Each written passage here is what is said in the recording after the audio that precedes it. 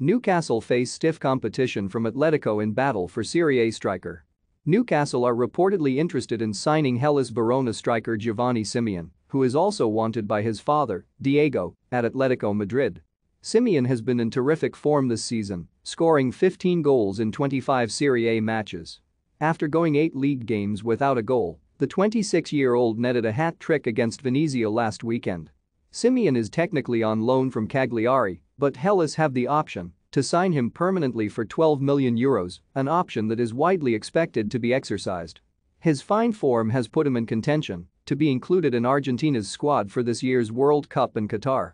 Simeone's emergence as one of the best strikers in Europe has seen him be linked to some top teams, such as Atletico.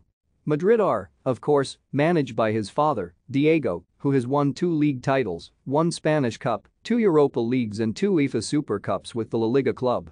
As well as Atletico, the richest club in the world, Newcastle, are interested in signing Simeone, according to Spanish newspaper Sport, via Football Italia. If the Spanish club's interest is genuine, it will likely be difficult for the Magpies to convince the player to choose them over playing for his father in the Spanish capital. The Geordies have been linked with numerous players since their Saudi-led takeover was completed last October. Villarreal winger Arnaut Danjuma is one of the latest names thrown in the St. James Park transfer rumour mill.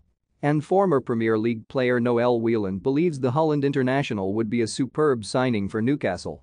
Danjuma has made a name for himself in the Champions League and La Liga this term. He has been involved in 16 goals from his 23 outings. Whelan told Football Insider Danjuma would be a superb signing.